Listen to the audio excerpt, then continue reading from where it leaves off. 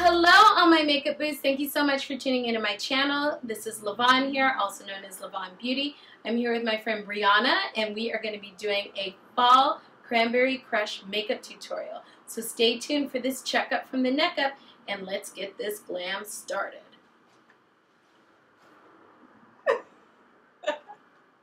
Here we go.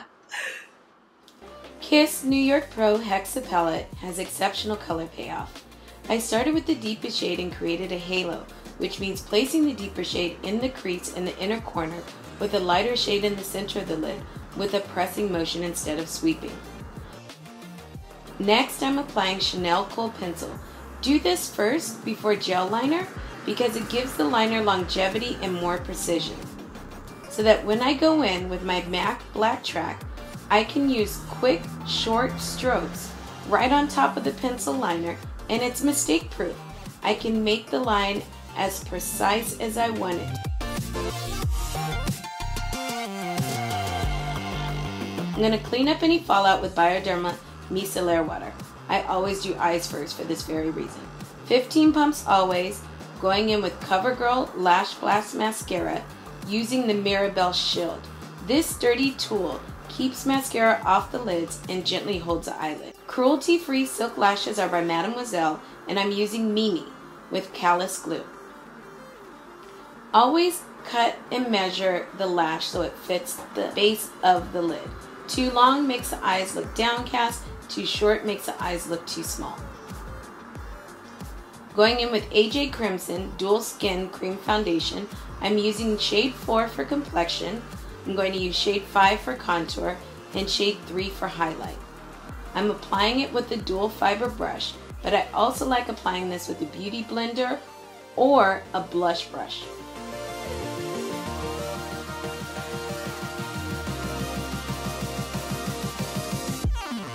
This is the shade in 3 for highlight and conceal.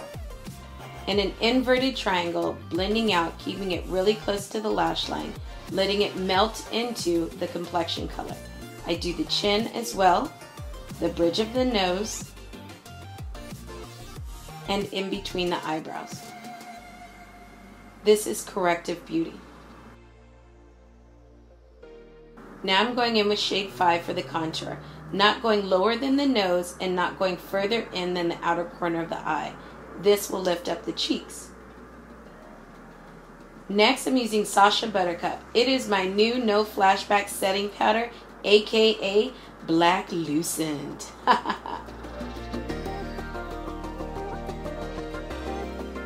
I'm now going to use a Madina Crystal Glass Powder. This is one of a kind. It's only found in Milan, Italy. It goes on and sets foundation and is absolutely translucent. I'm also using another product by Madina Milano called the Chic and Shine Stick in Gold. Warmed up on my ring finger, I tap it into the skin and it makes the skin look like it's lit from within. I use this on almost every client. Comes in two shades.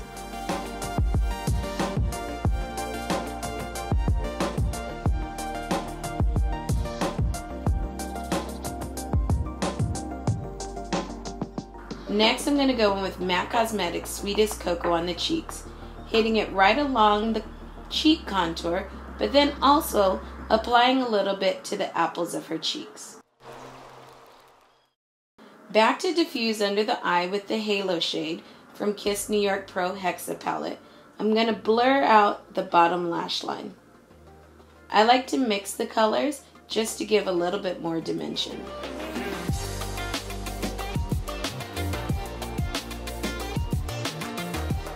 Forgot to show you the lip liner, but it was Currant from MAC. It is a makeup artist kit necessity. I wrote a blog post on my favorite MAC lip pencils on the checkupfromtheneckup.com. You'll have to check the link below on that post. Using short strokes for precision, but with a small tapered synthetic brush, I'm going to blur the lip liner. Soft Matte Cream Lip in Transylvania by NYX. When you blur the lip liner into the lip color, that is what creates an ombre lip. It doesn't have to be super intense. This is a little bit more natural, but because it is a soft matte cream, it looks beautiful when complete. There's another video on the channel of me doing a one minute ombre on myself with all NYX products.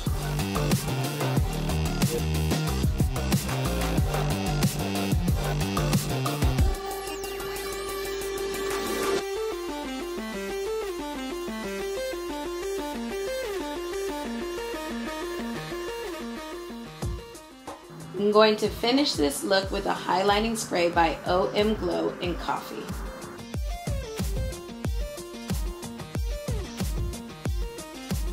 Here is the final look. What do you guys think? Give me your thoughts and comments below. Tell me what you learned, if I taught you something new today. And also, what did you learn? What did you like the most? What was your favorite part? I think my favorite part is the lips. The lips? Love did the, the nice burgundy ombre lip, but applying it with a brush makes it a little bit less precise and makes the look a little bit more diffuse. That was a new little trick you learned, right? Beautiful, yes. All right. So thank you guys so much for watching. More videos to come. Stay tuned for my next checkup from the neck up with Lavonne Beauty. Bye.